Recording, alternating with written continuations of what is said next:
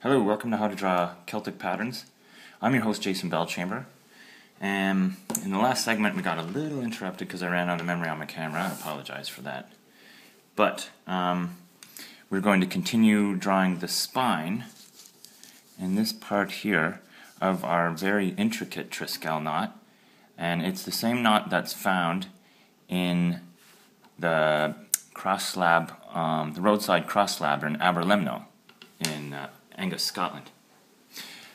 So, take your pencil, and what we're going to do is continue the pattern. It's going to come down. So you can see you start making mirrored images along your uh, your axis here. Now this pattern is going to go up here in between as is this one. You can see they're doing a mirror image.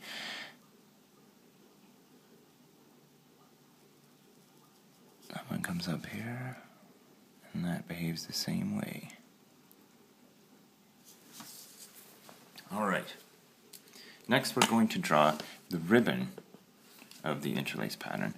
And seeing as because it's so thick, or uh, because it's it's got so much going on, we're going to make it fairly thin. So basically it's only going to be about that wide. Now we're going to decide which way goes over and under. Let's mirror it on this side. So the first one goes over. So the first one from the corner here is going to go over. Now remember to draw lightly so you can erase. And just draw this around your spine with the same thickness. This one goes under and over.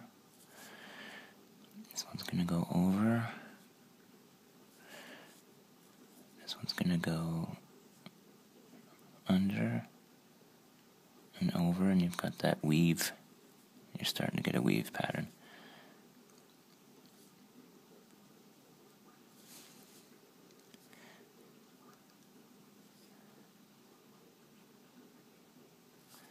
Alternating.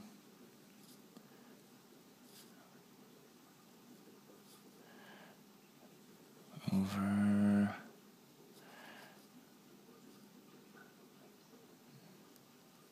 And under.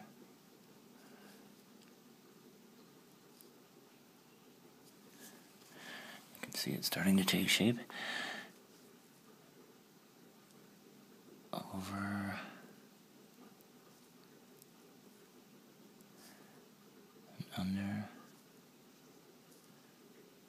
Over.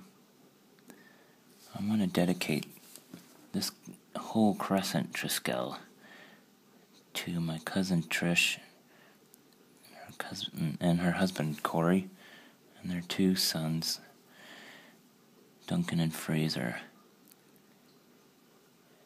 And they let me stay at their place in Scotland last September when I drove around looking at all these stones I've been studying for over a decade and a half.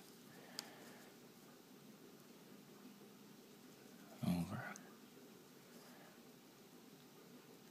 So, thanks very much, Trish. I really, really appreciate it.